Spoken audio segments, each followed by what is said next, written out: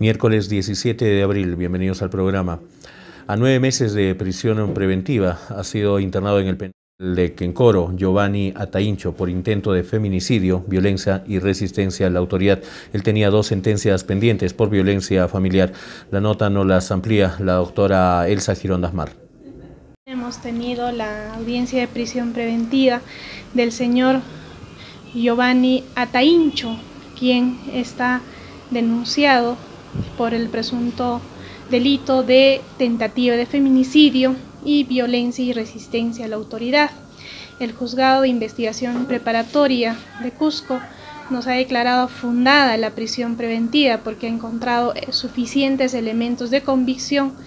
Eh, se tiene conocimiento que este señor tenía ya antecedentes penales, dos sentencias por agresiones de violencia familiar, tenía ya para la fecha que ha sido intervenido el día 5 de abril del año 2019 mediante una detención judicial que ha presentado el Ministerio Público, se ha determinado que también para esa fecha tendría una sentencia de pena privativa de libertad efectiva por cuatro años y ocho meses, se ha tomado en cuenta, por la cual rápidamente también se ha activado su requisitoria para esa fecha.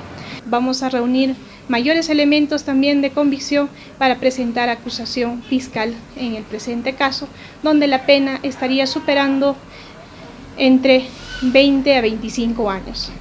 La pena podría ser de 20 a 25 años de pena privativa de libertad.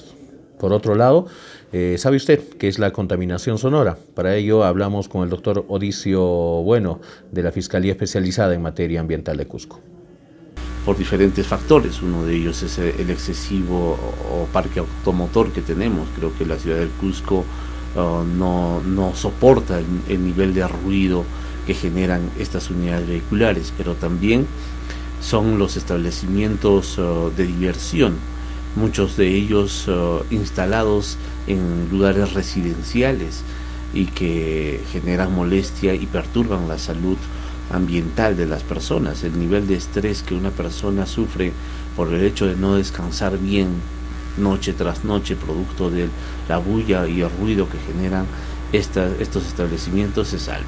Hay un tipo penal, hay un delito sancionado concretamente eh, respecto a la contaminación sonora, es el contenido en el artículo 304 del Código Penal, es que emite ruidos por encima de los límites máximos permisibles, dice.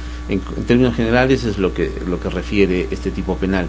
Sin embargo, así como dice eh, que tiene que emitirse ruidos por encima de los límites máximos permisibles, importa la aprobación de estos por la autoridad competente. ¿Quién es la autoridad competente? En el caso de Cusco, por ejemplo, la Municipalidad Provincial del Cusco. La Municipalidad Provincial tiene una, una ordenanza municipal de 046 del 2006 que regula los límites máximos permisibles, pero no lo ha hecho de una manera muy técnica y eficiente como para que sea un instrumento de ser utilizado en una investigación penal. Es necesario y oportuno de que se revise esta ordenanza municipal, se actualice y se viabilice en su aplicación.